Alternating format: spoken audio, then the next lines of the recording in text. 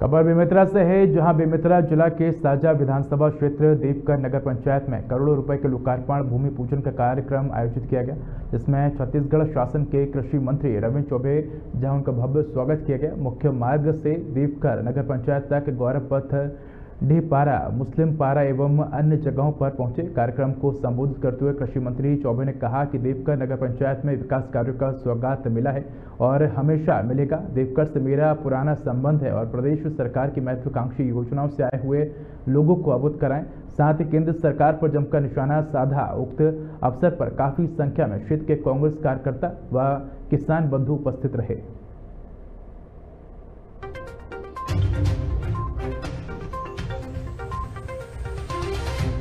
पंचायत में विभिन्न कार्यों का भूमि पूजन और उद्घाटन का कार्यक्रम था। देवकर में नए प्रारंभ स्वामी आत्मानंद अंग्रेज़ी माध्यम के स्कूल के बच्चों का भी कार्यक्रम था। निश्चित रूप से देवकर में छत्तीसगढ़ सरकार के द्वारा जो लगातार विकास के कार्य किए जा रहे हैं, मैं यहाँ की जनता को, यहाँ के नगर पंचायत को बहुत बधाई देना चाहता हूँ। कि देवकर के सर्वांगीण विकास के लिए यहाँ लगभग सब काम किया जा रहा है। पंचायत में